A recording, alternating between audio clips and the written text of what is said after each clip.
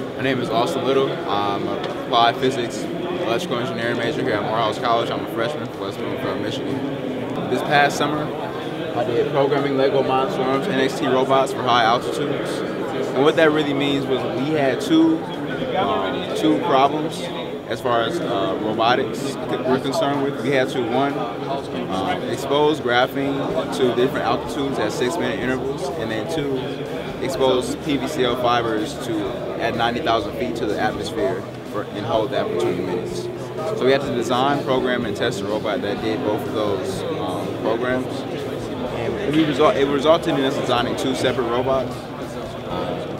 One which opened up the graphene valves at six minute and two, one which opened up the petri dish at, at, for, at 90,000 feet for 20 minutes. And overall, the programs were successful. Um, it was really great because we were able to perform high high cost experiments for extremely low cost using these Lego Mindstorms and using a weather balloon. And that's what made that's what made this so exciting because we we didn't have to use manpower, we didn't have to use a lot of money. We just had to be creative and use uh, use the resources that we had, and we were able to complete it. Here you see some pictures of a robot at about I think it's about 90,000 feet. You can see the curvature of the Earth. And uh, here's some other pictures of the robot across the.